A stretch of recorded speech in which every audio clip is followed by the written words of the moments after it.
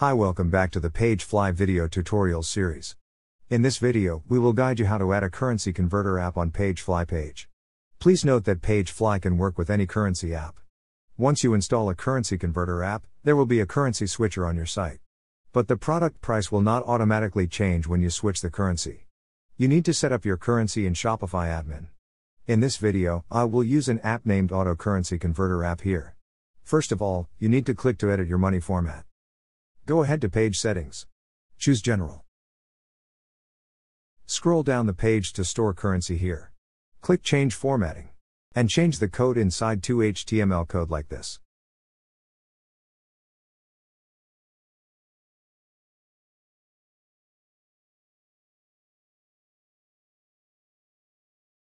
Click Save to finish this step. Back to the Currency app.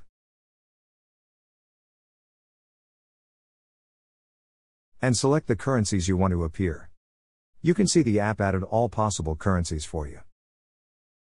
If you only want to show a few specific currencies, you can remove them. And select manually.